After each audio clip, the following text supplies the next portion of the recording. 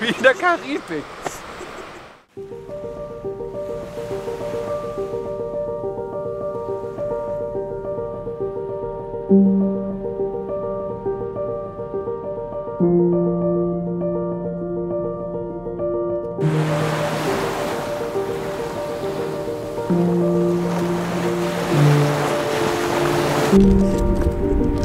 Hi already.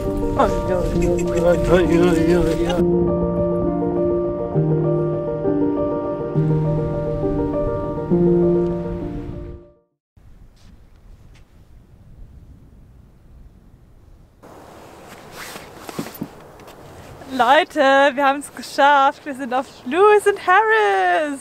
Juhu!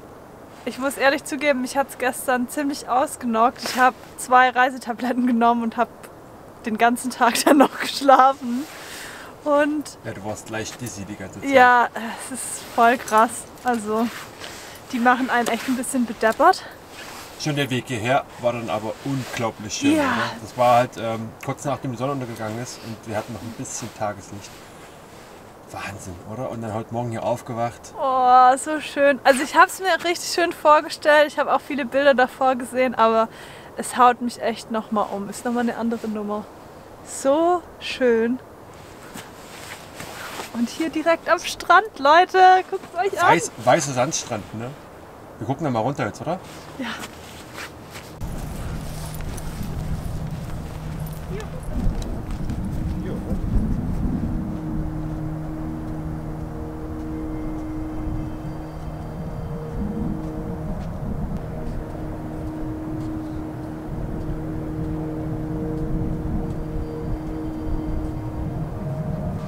Dem der geht es heute auch zum Glück wieder etwas besser. Er geht schon wieder alleine rein und raus aus dem Bus und das ohne Jaulen. Und er ist heute auf jeden Fall wieder aktiver. Natürlich müssen wir ihn noch bremsen, aber mega erleichtert, oder? Oh, uns ist ein riesiger Stein vom Herzen gefallen, dass es heute das erste Mal ohne Jaulen und Heulen ist und er selber eben rein und raus hüpfen möchte aus dem Bus. Und dabei hat er nicht mal alle Schmerztabletten heute gegessen. Nee, bisschen verweigert in seinem Futter. ich habe sie zermalmt hier und habe sie unters Futter gemacht und dieser Schlingel hat es irgendwie geschafft, trotzdem wieder raus, äh, das Zeug rauszuspucken. Ja, aber es ist schön, dass es mir besser. Na, mein Süßer? Schnee? Schnee. Also der Kontrast zu den letzten Wochen mit den Bergen und Schnee passt, oder? Jetzt Sandy Beach. Ja, voll. Ich finde es mega schön. Vor allem die Strände, die erstrecken sich hier noch bis hinten um die Kurve rum. Mega lang, kilometerlang, einfach nur Sandstrand. Ja. Es ist, ist so gottverlassen, hier ist niemand da, das ist echt geil. Und die kleinen Häuschen immer so dazwischen und dann die Berge im Hintergrund und auch das Wetter, ey. Ich finde es total mystisch so immer. ein Glück gerade, oder? Ja, Die letzten Wochen. voll. Seit wir in Schottland sind. So ein Glück, ja. Wenn schon nicht alles im Auto klappt, dann haben wir wenigstens gutes Wetter. Ja. Oh, ich bin so überwältigt von der Insel. Und ich meine, es ist Tag 1. Tag 1, ja. Mal gucken, was die nächsten Tage noch alles kommt.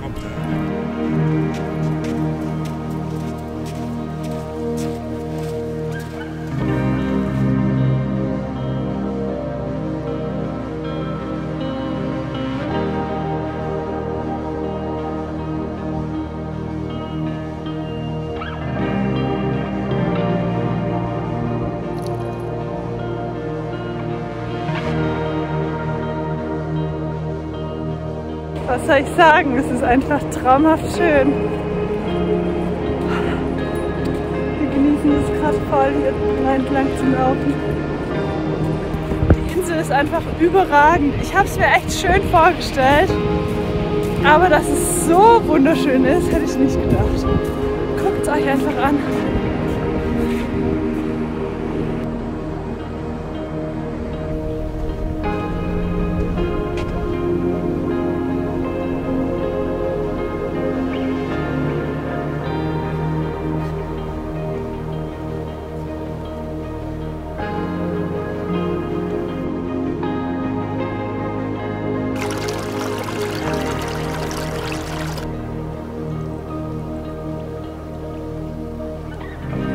another person. Bye.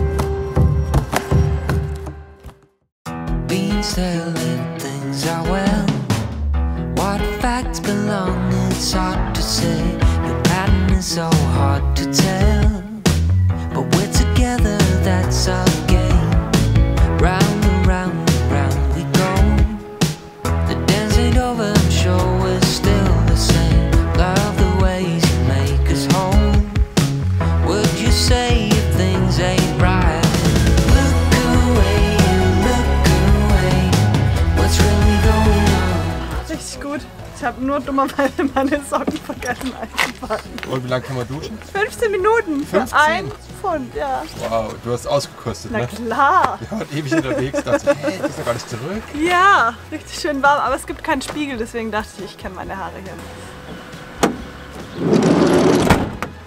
So, jetzt haben wir geduscht. Jetzt gehen wir noch auf der Insel einkaufen. Im kleinen Inselshop. Mal gucken, was es hier gibt. Ja, ich bin gespannt. Ob es von allem, von jedem Produkt nur eins gibt. Ja, die werden schon was haben.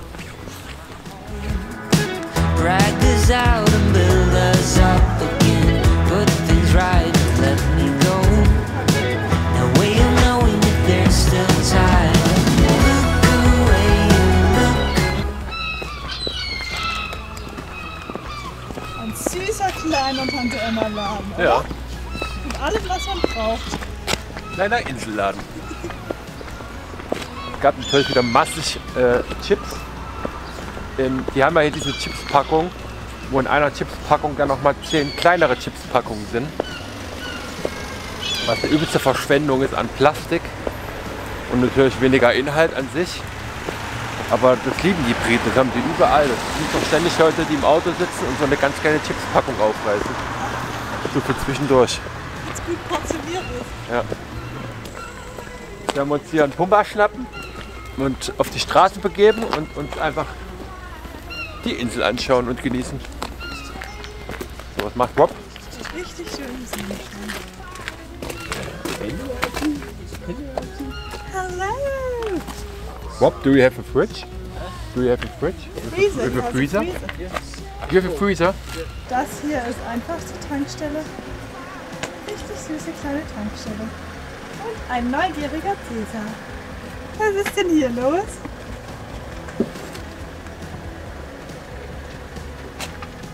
Cäsar, wir gehen nur tanken. Du kannst dich hinsetzen. Tu nur Diesel tanken. Und uns für Heizung auffüllen. Okay?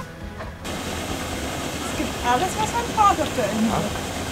Das ist alles nur extrem entschleunigt hier. Das ist echt geil. Dreck hier drin überall. Eieiei. Bei uns.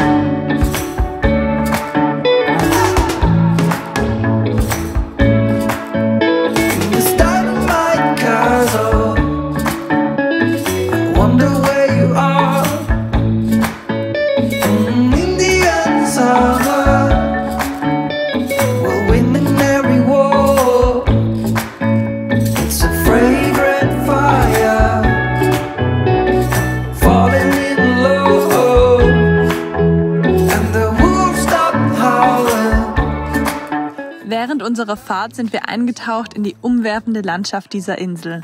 Dabei waren wir stets umgeben von unzähligen Schafen, farbenfrohen Hügeln und schroffen Bergen. Es gibt hier Seen und Flüsse, soweit das Auge reicht, und in Gold getauchte Fjorde. Nur vereinzelt sieht man hier bewohnte Häuser. Als wir uns entlang der gebirgigen Passstraßen geschlängelt haben, wurden wir sehr häufig von wunderschönen Regenbögen begleitet. But every little cell, the conclusion is love you.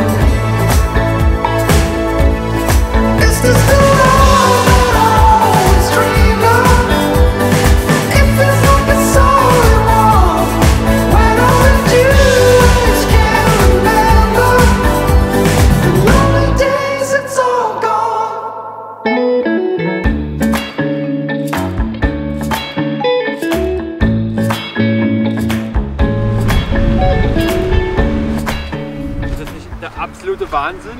Das ist Oder? der absolute Wahnsinn. Ey, also schon diese Fahrt hierher. Hier ist jede Straße einfach eine Panoramastraße auf dieser Insel. Das ist absolut krank. Diese Szenerie, wie die sich hier abwechselt, oder? Und vor allen Dingen hier ist ein Fjorde. Ich habe in meinem Leben noch nie einen Fjord gesehen. Ich auch nicht. Also nicht live. Und wir haben vor uns auf der Ostseite der Insel riesige Fjorde gesehen. Und jetzt hier ist auch einer. Wahnsinn. Ja, man kann es nicht beschreiben. Und da guckt euch diesen Beach an, oder? Wie in der Karibik. Oh, ich bin auch absolut überwältigt. Ey. Ich bin echt überwältigt. But in every little cell,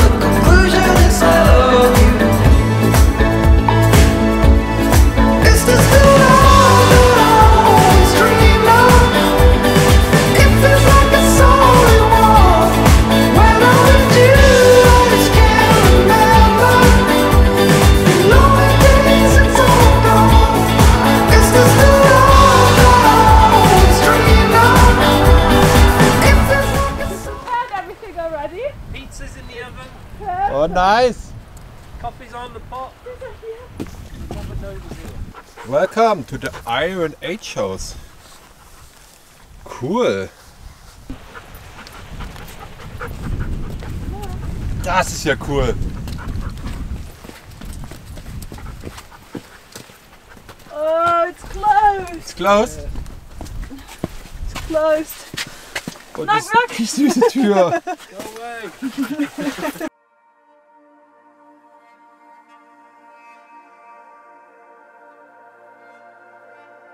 Also wir haben ja gerade so eine Behausung gefunden, aus der Eisenzeit stammend.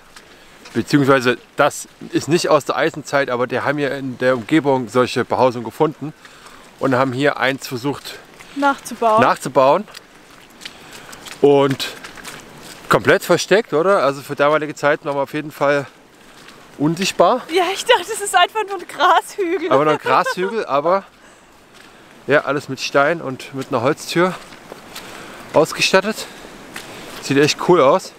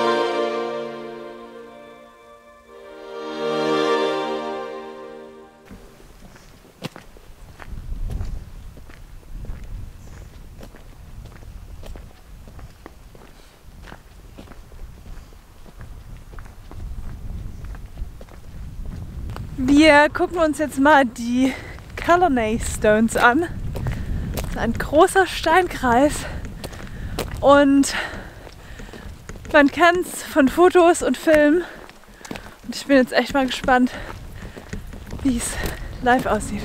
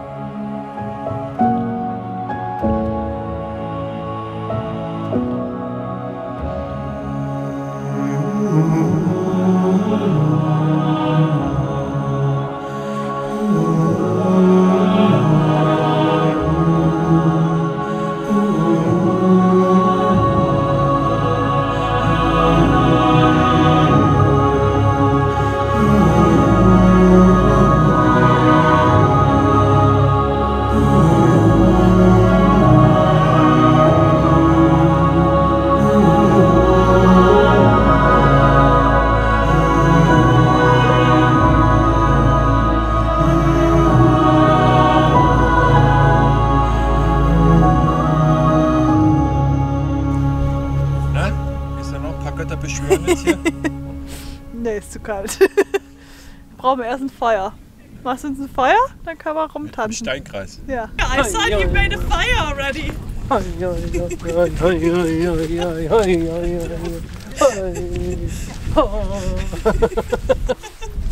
Seven golden rings. I just had the sound effects. Aye, aye, aye, aye. The gods are pleased. Aber es sieht total magisch aus und mystisch.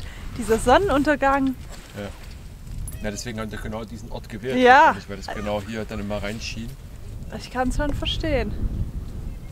Ich frage mich dann immer, was hier alles passiert ist. Wenn man mal überlegt, also es stand auf dem Schild, dass es über 4000 Jahre alt ist. Und dann muss man sich mal überlegen, was in dieser Zeit alles passiert ist. Feste gefeiert, Tote gefeiert, Ja, Opfer. hinge hingerichtet, Opfer ja, gebracht. Opfer gebracht. was man sich alles vorstellen kann. Ja, was man sich vielleicht manchmal auch gar nicht vorstellen will.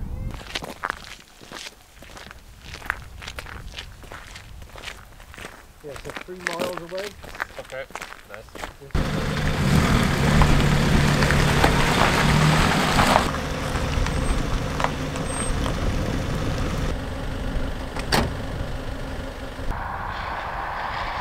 So, wir sind angekommen für die Nacht. War ein sehr aufregender Tag. Viel gesehen, viel erlebt. Und ja, jetzt haben wir uns einfach nur ein paar Pommes reinknallen. Rob hat zum Glück einen Ofen. Und ja, genießen noch den Rest des Tages im Bus. Ist unglaublich, diese Insel. Also hier ist eine Ecke schöner als die andere. Also alle 100 Meter hast du hier ein neues Highlight. Ich kann es gar nicht anders sagen, aber es ist fantastisch. Also wir sind sehr überwältigt, hätte man nicht gedacht, dass es so schön hier ist. Und wir haben auch mega Glück mit dem Wetter. Wir haben jetzt schon seit zweieinhalb Tagen Sonne. Mal ganz, ganz kurze Regenschauer, aber die stören nicht. Und ganz ruhiges Wetter, sonst perfekt. Perfekt einfach nur.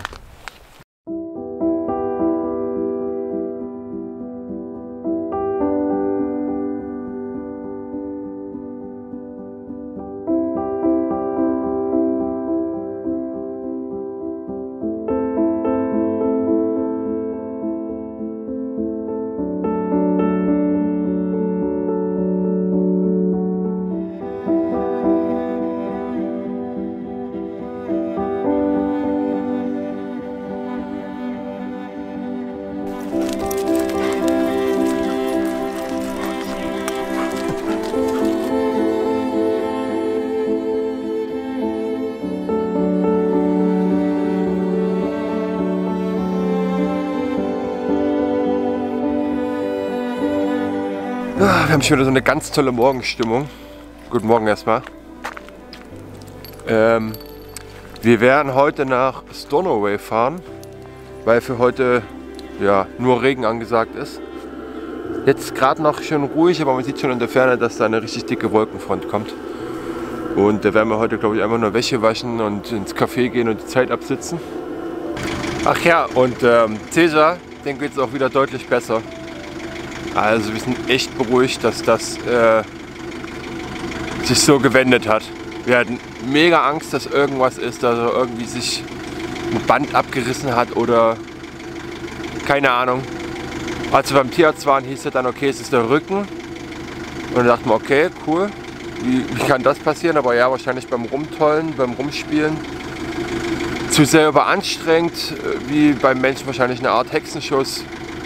Aber ist wieder raus anscheinend, er ist wieder am Rumspielen und wir versuchen ihn noch im Zaum zu halten, dass er sich noch ein bisschen mehr schont als sonst. Und, aber er ist schon wieder fröhlich am Rumspringen, kommt wieder alleine rein und raus im Bus und ähm, er jault nicht mehr, er zeigt keinen Schmerz mehr, das war erstmal mega erleichtert. Das war echt wieder mal ein Schreckmoment. Stornoway. Die größte Stadt auf der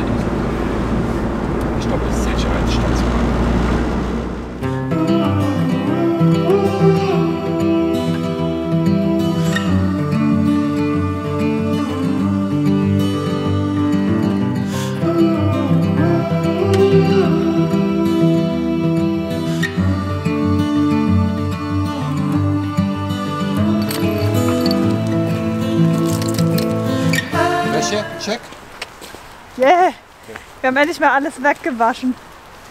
Also unsere Tüte voller Dreckwäsche ist endlich leer. Tüten. Tüten. Stimmt. Wenn du die Tüten aufgemacht hast, den Pumper, dann fiel dir alles entgegen. Ja. So, jetzt laufen wir noch ein bisschen hier durch Stonaway. Gucken wir Machen uns. das Beste aus, aus dem Wetter und dann gehen wir ins Café, ha? Ja, perfekter Plan. Das ist genau das, was man bei so einem Wetter tun sollte. Ich habe richtig Bock auf einen Käsekuchen. Aber ich habe bisher noch keinen Käsekuchen bekommen. Ich drück dir die Daumen, Schatz. Ich weiß nicht, ob es Käse gibt.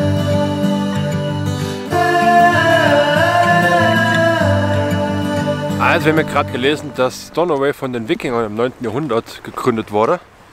Und die haben hier überall Silber versteckt an den Küsten, was dann später gefunden wurde. Ja, die waren nämlich bis 1266 hier. Also sollten wir mal einen Spaten rausholen und auch noch mal an die Küste gehen und graben, oder? ja, vielleicht finden wir was. Wir brauchen noch ein bisschen was. Die haben bestimmt viel versteckt. Und jetzt sind wir ja gerade bei der Lewis Castle. Von welchem Clan? Vom MacLeods Mac- Clan. Ja, MacLeods. Die haben die gegründet, also erbaut. Ja, krass. Kann man mal machen, hä? Wohnt da noch jemand drin? Das weiß ich nicht, habe ich nicht gelesen. Aber sieht so aus. Fancy, fancy.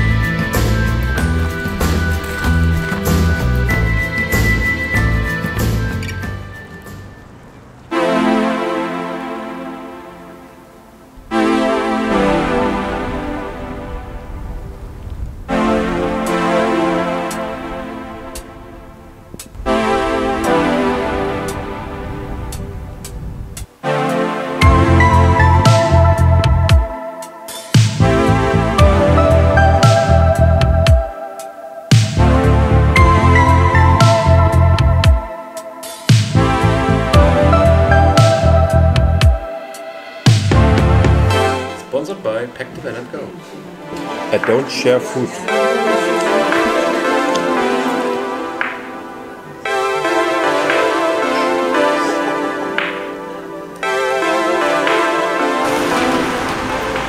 Ich bin voll bis oben hin, Leute. Ich hatte so einen leckeren Karamellkuchen und dann noch ein Sandwich. Der Tag ist perfekt, trotz Regen.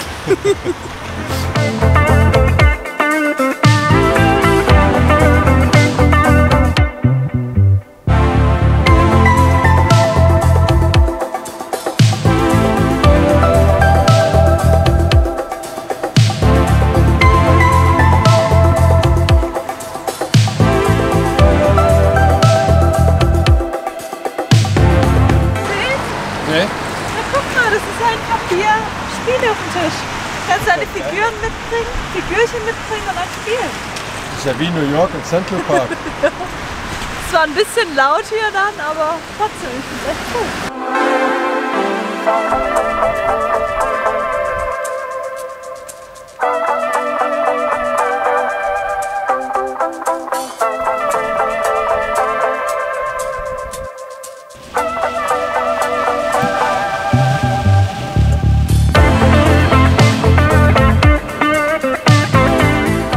Alter Falter, jetzt ist aber ein richtiger Sturm hier losgegangen.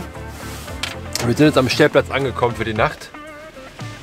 Äh, wir stehen direkt am Meer an den Felsen und hier zerrt ein Wind und es regnet gerade aus Eimern. ähm, wir haben uns jetzt versucht, genau in den Wind zu stellen, dass der Bus nicht so sehr schaukelt. Mal gucken, ob das so bleibt oder ob der Wind noch dreht. Und wie dann die Nacht wird und wie es morgen aussieht. Als wir hier rüber gefahren sind auf diesem, das war wie so eine Art Damm, haben wir schon gesehen, dass der Ozean extrem stürmisch ist gerade. Da waren riesige Wellen, die waren bestimmt zwei, drei Meter hoch. Die haben hier rangeprescht. Ähm, ja, wir sind auf jeden Fall gespannt, wie es morgen früh aussieht, oder? Ja, Auf jeden Fall. Und ich bin gespannt, Die- ob der Wind sich noch dreht und wir doch am Ende hier im Schiff liegen. ja, ja die wahrscheinlich. ganze Nacht hier wackelt. Wahrscheinlich. Ähm, ja. Wir sind gespannt, was die Naturgewalt für uns bereithält morgen und die Nacht. Jacke? Nasser Hund. Das Gute ist an Cäsar, er stinkt nicht. Das stimmt. Also er riecht nie nach Hund, auch wenn er nass ist. Er riecht nicht nach Hund. Keine Ahnung, ob das bei Huskies normal ist. Der riecht immer übelst gut. Der hat noch nie nach nassem Hund gestunken.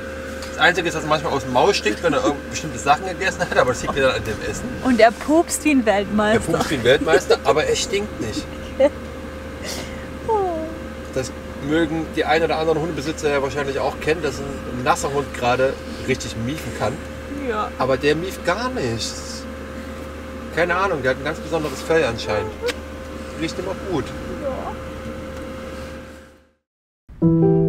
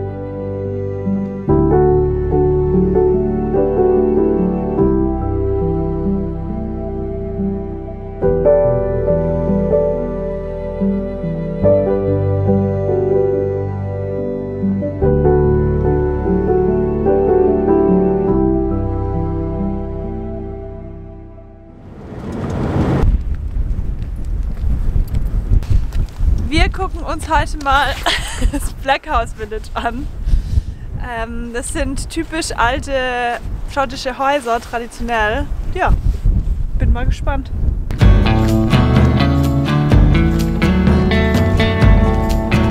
Und habt ihr euch schon umgesehen? Ja.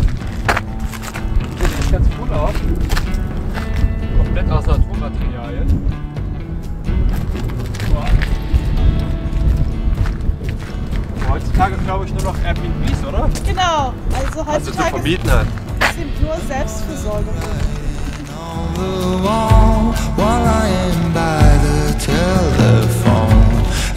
on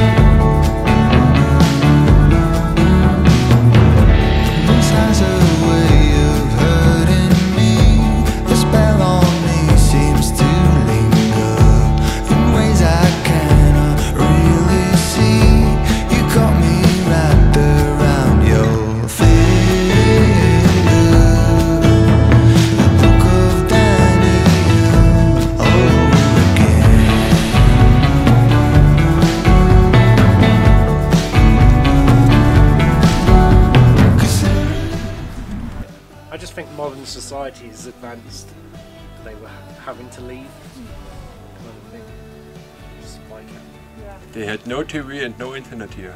yeah, exactly. They're, no Netflix. They're like, where can I put my satellite dish? Where's my Alexa? I have to leave this place. Alexa, do I need to leave? Yes. You've been here 200 years, Highlander.